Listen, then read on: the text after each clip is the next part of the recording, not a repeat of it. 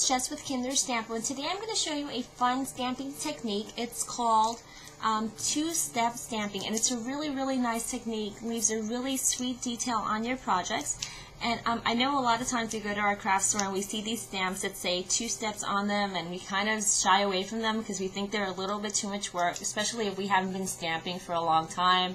Um, it's not typically the stamp that I would gravitate to, but um, you'll see that they're really, really easy to do, and it leaves a really, really nice detailed um, image on your project. So today I'm going to go ahead and show you the items that I'll be using, and then I'll show you what the wrong way of doing um, two-step stamping is, and then the correct way of doing it. So the stamp set that I'm using is by We R Memory Keepers, and it's a two-step leaf stamp. It comes with two stamps. It comes with a background stamp, which is the shaded one, and the outline stamp, which is the just the outline with the clear images in the center. And this one is from their Vintage Blue collection. You're going to also need a piece of paper, so let's assume that this is our project sheet. And on this side, I'm going to show you the incorrect way of doing it. On this side, I'll show you the correct.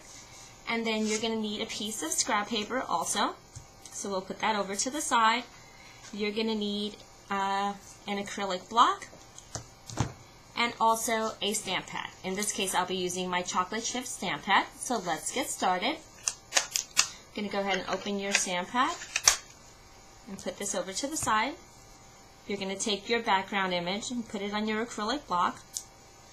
And you're going to press generously into the pad to make sure that all of the areas are covered. And since these are clear, you can see how it's nicely covered the next thing you do is you're going to press onto your project sheet. So I'm going to start with the incorrect side. And this is what I would normally do. There goes my incorrect side. And then I would take off my background stamp and then I would put on my outline stamp and again I would just press into the pad and see that it's covered correctly then position it over my background stamp, and ink down.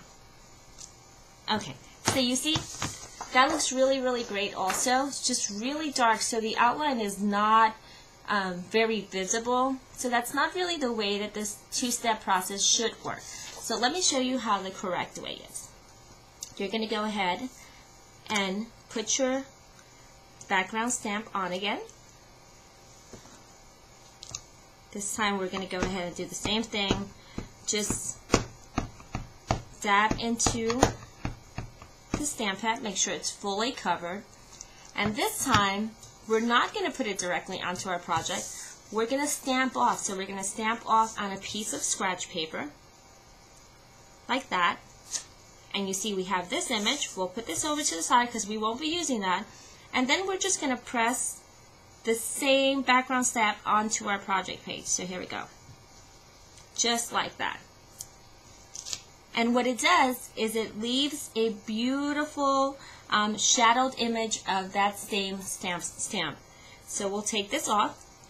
The next thing we'll do is we'll take our outline stamp, put it on here. Oops. Then we're going to press it onto our stamp pad again. Make sure it's nicely covered. Position it over the image. Make sure it's in the right place. Press down and remove it. So now you see the difference between the incorrect side and the correct side. When I first started doing um, two-step stamping, I would always do it this way, and I never stamped off on a scratch paper, and I never understood why my projects didn't look the way other projects did, and it was simply because I wasn't stamping off. So um, whenever you're doing this, the two-step process, always remember to stamp off your background image onto a scratch piece of paper, then stamp it onto your project, and then put your outline over the shadowed image of the background stamp.